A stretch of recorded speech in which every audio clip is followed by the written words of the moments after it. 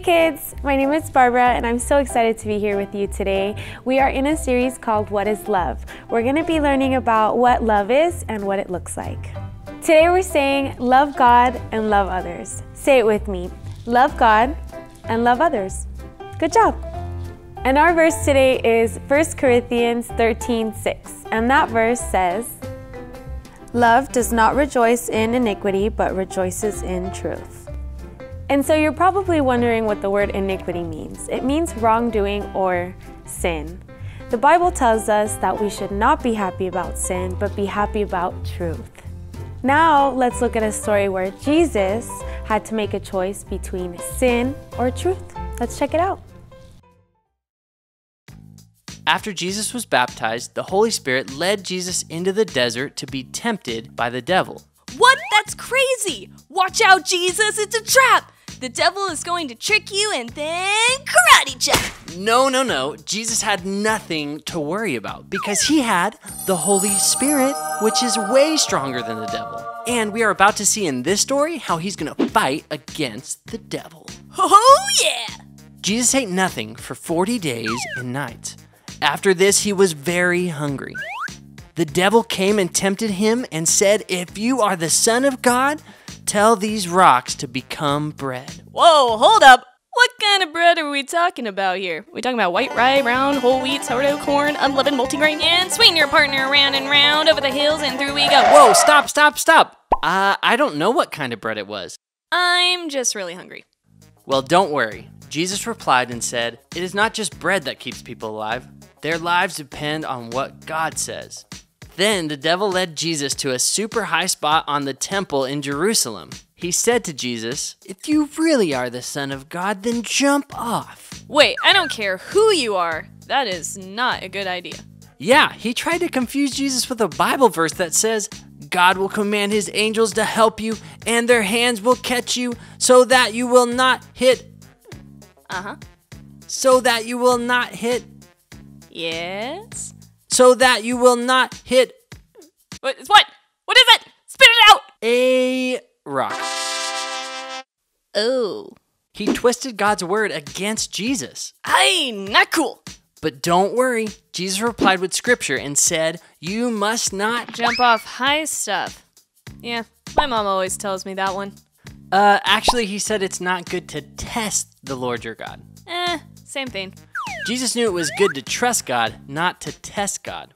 Then the devil led Jesus to the top of a very high mountain and showed him all of the kingdoms of the world and all the wonderful things in them.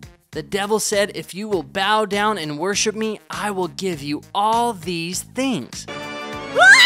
Wait, what? The devil wants Jesus to worship him? No way! Don't do it, Jesus! I know, and what's even more sad is he wanted Jesus not to go to the cross and die for our sins. He wanted him to take the easy way out instead of doing things God's way. Quick, Jesus, quick!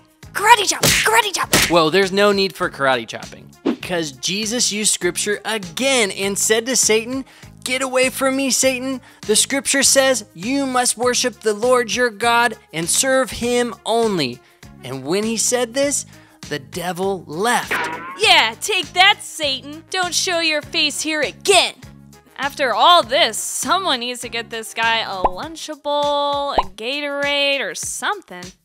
Actually, after all this, angels came. Whoa, oh, did they actually bring Lunchables and Gatorade? I had no idea they made those back then. Seriously. No, but they did come and help him. Jesus used God's word the whole time to fight against the devil.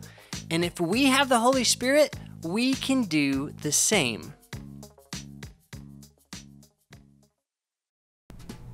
That was an awesome Bible story.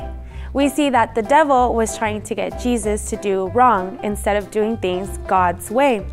Okay, so take a moment to answer this question. Do you ever find it hard to do the right thing? If so, why?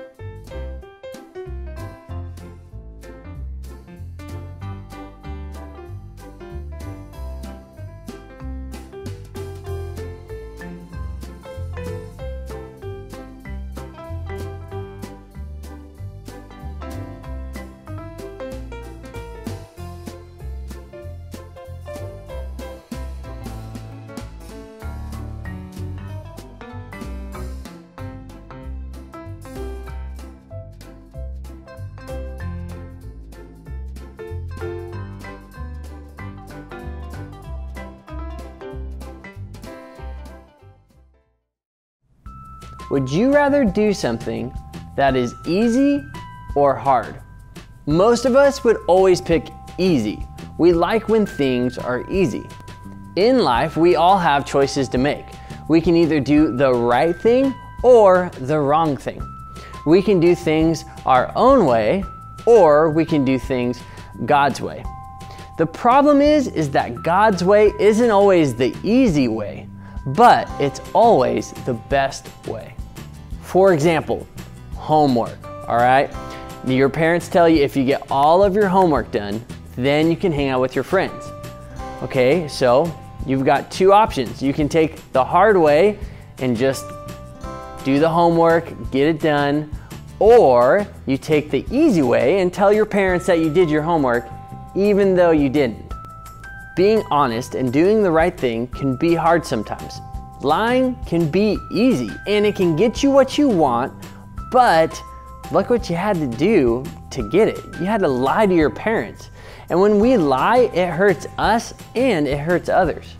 You want to make friends at school and be liked by everyone. But you see a kid getting bullied. What do you do? Do you go the hard way and stand up for that kid? Or do you take the easy way?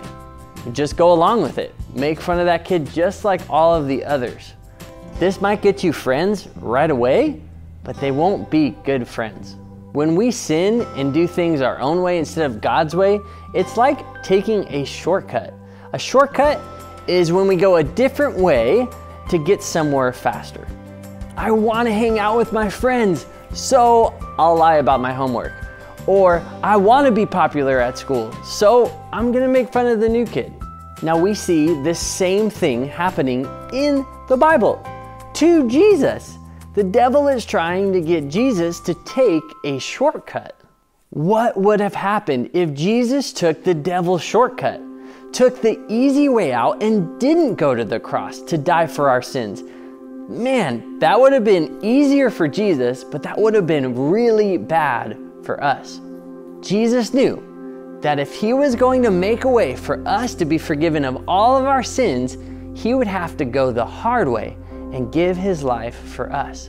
And that's exactly what he did. Because Jesus loves me and because Jesus loves you, he went to the cross and let himself be punished and killed for our sins.